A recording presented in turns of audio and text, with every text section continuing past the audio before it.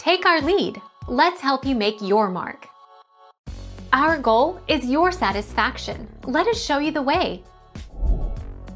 It asks me to place two buildings at non-congruent alternate interior angles.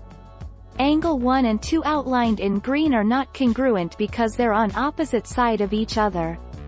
Alternate interior angles are pairs of angles on opposite sides of the transversal but inside the two lines.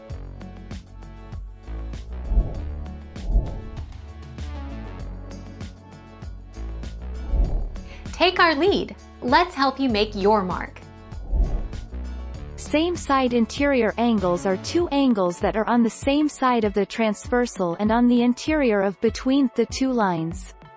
Same side interior angles theorem. If two parallel lines are cut by a transversal, then the same side interior angles are supplementary.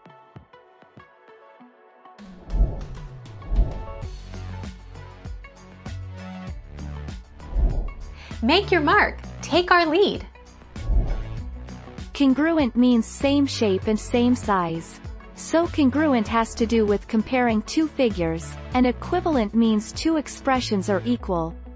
So to say two line segments are congruent relates to the measures of the two lines are equal.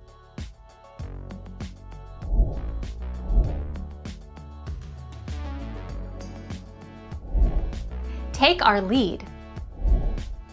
The sides, and non-congruent means, not congruent, that is, not the same shape.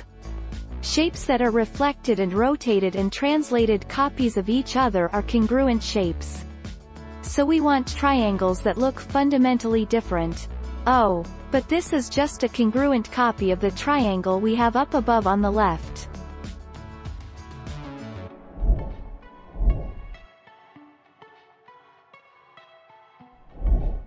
Take our lead. The corresponding angles postulate states that, when two parallel lines are cut by a transversal, the resulting corresponding angles are congruent. The converse is also true, that is, if two lines L and M are cut by a transversal in such a way that the corresponding angles formed are congruent, then LM. Thank you for watching. Please subscribe and hit the bell notification.